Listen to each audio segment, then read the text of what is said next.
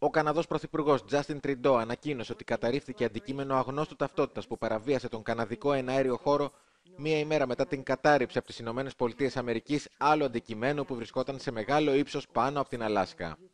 Απογειώθηκαν εσπευσμένα μαχητικά αεροσκάφη του Καναδά και των Ηνωμένων Πολιτειών και αμερικανικό καταδιοκτικό F-22 έπληξε το αντικείμενο, διευκρίνησε ο ίδιος μέσω του Twitter. Το αντικείμενο πετούσε σε υψόμετρο περίπου 40.000 ποδιών, είχε παρανόμως εισέλθει στον καναδικό εναέριο χώρο και αποτελούσε απειλή για την ασφάλεια των πτήσεων. Καταρρίφθηκε περίπου 100 μίλια από τα σύνορα του Καναδά με τις Ηνωμένες Πολιτείες πάνω από την καναδική επικράτεια, στο κεντρικό Yukon. Οι δύο επιχειρήσεις σε Αλάσκα και Καναδά καταγράφηκαν μία εβδομάδα μετά την κατάρριψη από την Αμερικανική πολεμική αεροπορία αυτού που το Πεντάγωνο περιέγραψε ως κατασκοπευτικό μπαλόνι της Κίνας, η οποία αντέδρασε οργισμένα αντιτείνοντας πως επρόκειτο για μετεωρολογικό αερόστατο που απλώς εξετράπε της πορείας του.